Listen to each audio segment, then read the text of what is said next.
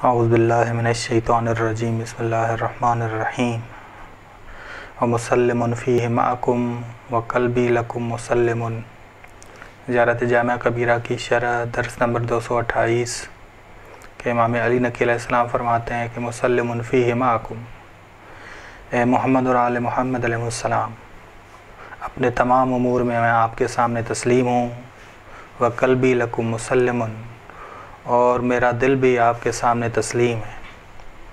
बस अहल बैतम के ज़ाहिर ने जब अपने तमाम अमूर दुनियावी और उखरवी को इन हजरात के हवाले किया और तफवीज़ किया, बस इस तफवीज़ का लाजमा ये है कि उनके तमाम अमूर में इंसान तस्लीम हो जाए और तस्लीम होने वाला ज़ाहिर अपनी ज़िंदगी इन हजरात की सीरत और इन हजरात की सुन्नत की पैरवी को मद्दनज़र रख गुजारे। बस इन हजरात की सीरत की पैरवी करे, इन हजरात की पैरवी करे। तस्लीम होने का आला मरतबा, हमने कहा कि तस्लीम होने का आला मरतबा इंसान ज़ुबानी लिहाज से भी, अमली लिहाज से भी और कल्बी लिहाज से भी। कल्बी लिहाज से तस्लीम का आला मरतबा है कि इंसान कल्बी लिहाज से तस्लीम हो। तस्लीम होने का अला मरतबा कल्बी लिहाज से किसी के सामने तस्लीम होना है किसी किसी को अपने तमाम अमूर हवाले कर देना कल्बी हवाले से कि ज़्यारत जाम कबीरा में ये जुमला इमाम अली नकील इस्लाम ने कहा है, वह कल्बी लकुम सलमन या मुसलम कि मोहम्मद और आल मोहम्मद, मेरा दिल आप हजरात के सामने तस्लीम है। दिल किसी के हवाले करना, यानी आइम्मा के सामने रूहानी लिहाज से तस्लीम होना यानी हम जो आयम के साथ को दिल हवाले करते हैं, यानी रूहानी लिहाज से हम तस्लीम होते हैं। और दिल मरकज़ है शूर और इरादे का। शूर और इरादे का मरकज़ दिल है। कुरान करीम में कल्ब के मानी हैं, अकल दिल का माना है। रूह, जान, अवातिफ़ का मरकज़ ये दिल के मानी। बस इंसान हक के सामने तस्लीम हो, सालिम दिल के साथ। ये ज़्यारत जाम कबीरा के जुमले बता रहे हैं। इमाम जाफ़र सदक से रवायत है कि हुल कल्बुल्लजी सलम मिन हुब दुनिया।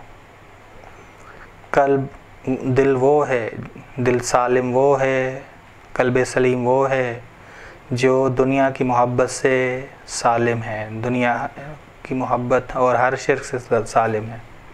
बस कल्ब खुदा के सामने खाजे और तस्लीम हो। कल्ब यानी बदलते रहना, एक हालत से दूसरी हालत में बदलना, बस ये एक जगह पर रुकता नहीं है।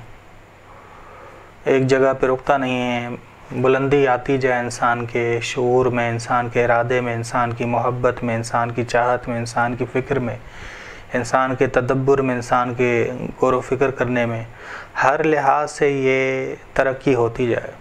एक जगह इंसान रुक, रुके ना, एक जगह इंसान रुके ना, बस मोहम्मद और आल मोहम्मद की पैरवी में इंसान एक जगह अगर रुके ना, ये तरक्की होती रहे तो मामला तस्लीम होने तक का पहुँचता है। बस इतबा से मामला तस्लीम होने तक पहुँचता है। इमाम जाफ़र सदक़ फरमाते हैं कि कल्बुलमोमिन अरशुर्रहमान मोमिन का दिल खुदा रहमान का अर्श है। खुदा के रहने की जगह खुदा के ठहरने की जगह मोमिन का दिल है। मोमिन का दिल है हरमुल्ला भी है और अरशुर्रहमान भी। पहले ये हरमुल्ला बनता है, फिर इतनी बुलंदी तक पहुँचता है कि वो अरशुर्रहमान बन जाता है। अरशुर्रहमान बन जाता है। बिहार अनवार जिल नंबर 55 सफ़ा नंबर उनतालीस है। इमाम जैन अलाब्दीन फरमाते हैं कि कोई भी तस्लीम हुए बगैर आला मरतबे तक नहीं पहुँच सकता। अगर हमने ये सोचना है कि मोहम्मद और आल मोहम्मद के ज़रिए, उनकी विलायत के वसीले से हम आला मरतबे तक पहुँचें तो हमें तस्लीम होना पड़ेगा। तस्लीम होना पड़ेगा, हरकत करनी पड़ेगी, तरक्की करनी पड़ेगी, मानवी तरक्की करनी पड़ेगी। हमारी सदूक, सफ़ा नंबर 455 में इमाम जैन की ये हदीस मुबारक है कि कोई भी तस्लीम हुए बग़ैर आला मरातब तक नहीं पहुँच सकता।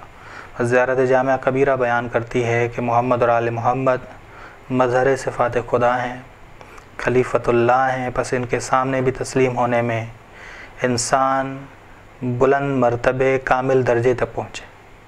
कामिल दर तक, दर्जे तक पहुँचे।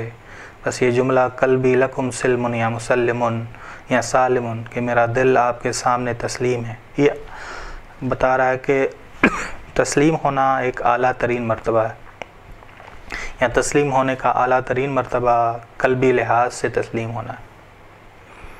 बस बज़ात खुद तस्लीम होना भी तवक्ल से बालातर है अला तरीन मरतबा है इंसान का। और उस तस्लीम होने में कैसा तस्लीम हो इंसान? कि कल्बी लिहाज से तस्लीम हो। कल्बी लिहाज से उसके बाद ज़ुबानी भी होगा, उसके बाद अमली भी होगा। वसल्ला महमद आल बेत तय्यबीन